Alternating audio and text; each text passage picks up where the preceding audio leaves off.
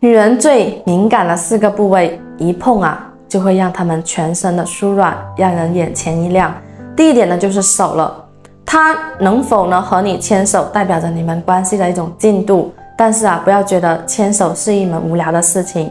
其实呢，女生的手都是非常的敏感的，无论是在街上啊、电影院，还是在床上，牵着她的手呢，都会给她一份安全感，代表你的从一而终。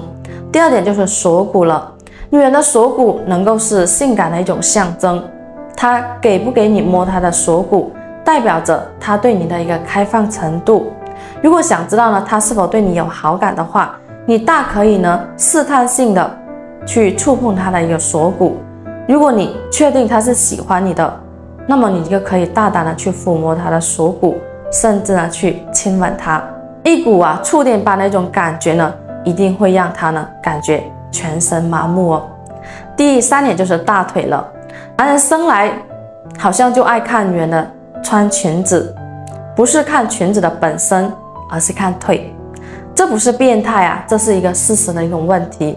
而且女人用大腿呢来引诱男人，迫不及待的从大腿向其他部位进发。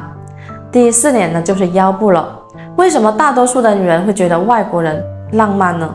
就是因为他们懂得女人的一种心理，一点一点的接触女人的一种戒备心，让她完全的信任你。同样，腰可能是女人最后的一种防线了。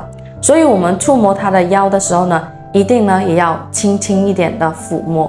最后呢，用手臂完全的环绕，你就完成了她信任你。想要在两性关系中激情满满，女人对你呢欲罢不能，一定要给女人多一些抚摸。今天我们分享的一个话题啊，就聊到这里。喜欢我们节目的，记得帮忙点击订阅、点赞、加收藏、转发。下期再见喽！